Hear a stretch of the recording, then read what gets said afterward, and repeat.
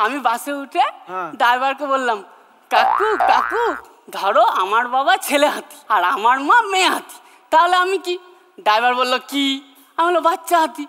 কিছুক্ষণ পর আবার কাকু কাকু ধরো আমার বাবা ছেলে ঘোড়া আমার মা মেয়ে ঘোড়া তাহলে আমি কি? ড্রাইভার বললে কি?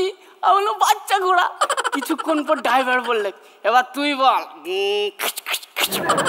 তোর বাবা ছেলে শিয়ানা তোর মা মেয়ে শিয়ানা তাহলে তুই কি? আমি বললাম বাস ড্রাইভার